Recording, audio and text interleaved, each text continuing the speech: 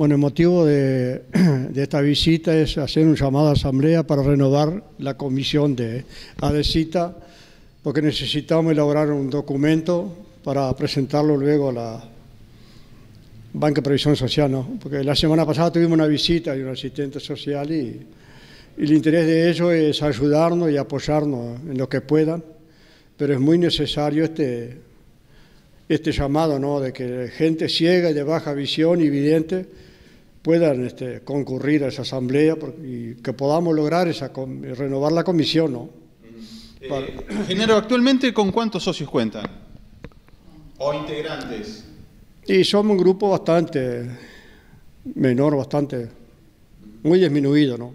Porque la verdad que ya desde antes la pandemia, después de la pandemia, como que se dispersó el grupo, ¿no? Y como que somos cuatro o cinco hoy, activos, ¿no? Y por eso el motivo de que la gente se sume para luchar por una causa común posteriormente. Claro, porque ese documento es necesario. Eh, por eso que pedimos que para el jueves 12 la gente pueda concurrir, ciego, baja visión y vidente, y podamos formar esa comisión, renovar, digo, lo, la comisión, ¿no? Y lograr, 12, lograr, ese documento para presentarlo luego al Banco de Previsión, ¿no? Así que va a ser jueves 12, ¿a partir de qué hora? Hora 15. ¿El lugar? Eh, en, el, en el colegio, acá en Sarandí, casi 33. Ahí está. ¿Dónde era el ex colegio Jesús de Carmentado, donde está actualmente Casa de la Cultura? Claro, ahí la Intendencia nos habilitó un salón que la verdad que está importante, es grande, y ahí hacemos nuestras actividades. Muy bien. Daniel Ignacio, el gusto de saludarte. ¿Qué tal? ¿Cómo te va? Bueno, buen, buen día a todos. Bueno, comentarnos más detalles. Eh, no, eh, el objetivo es, como dijo Genaro, eh, renovar la comisión directiva para, bueno, buscar la manera, así de esa manera, buscar este, los distintos apoyos del, sector público este, para mejorar la calidad de vida de las personas, tanto ciegas como baja visión. Eh, es importante que, que, el grupo crezca este, porque la pandemia pegó duro en ese sentido. Digo, la última comisión directiva se eligió pre-pandemia y posteriormente se dispersó todo, como dijo Genaro. Entonces, tenemos que juntar a, la gente este, para, bueno, para hacer las gestiones correspondientes para, para mejorar.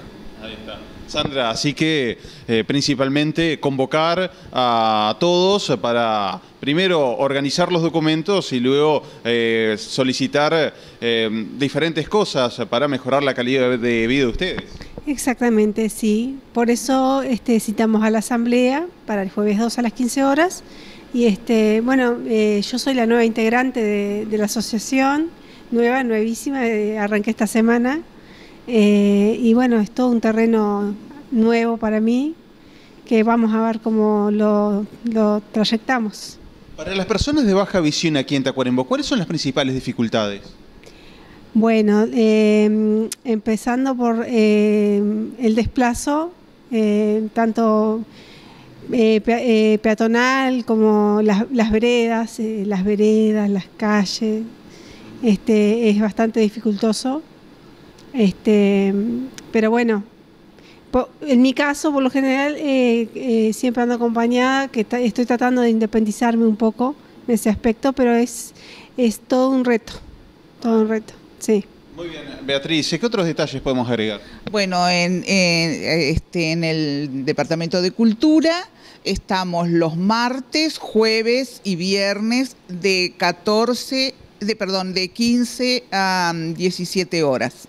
Este, y allí impartimos em, este, orientación y movilidad, que es este, fundamental para el desplazamiento de las personas con dificultades visuales. Eh, hacemos entrega porque tuvimos una donación muy rica del de Rotary este, Sur de bastones, proporcionamos bastones y también mm, les enseñamos el, uso y el manejo de los mismos. Em, trabajamos en, computación también con un eh, programa lector de pantalla eh, hacemos este, manualidades y de acuerdo a las necesidades de las personas, a lo mejor también necesitan actividades de la vida diaria, o sea, cómo desempeñarse, porque eh, la problemática mayor ahora en estos momentos también es de dos enfermedades. Una es el glaucoma, que muchas personas quedan ciegas o de baja visión y, las, y la otra es la diabetes, que la diabetes este, propende a, justamente a tener deficiencia visual las personas que, que la padecen, ¿no?